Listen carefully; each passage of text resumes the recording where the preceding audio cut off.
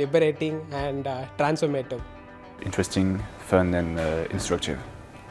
Thrilling, rewarding and unforgettable.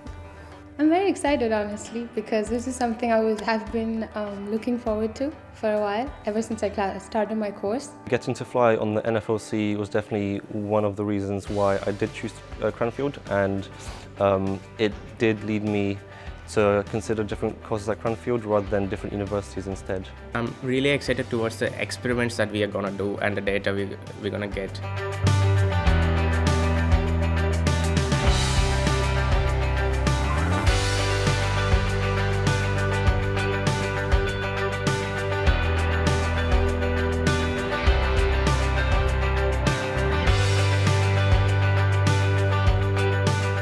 The most fun part of uh, today's flight was feeling the change in the G-forces, whether it's going up or down. It's a very once-in-a-lifetime experience and I'm really glad that we did that.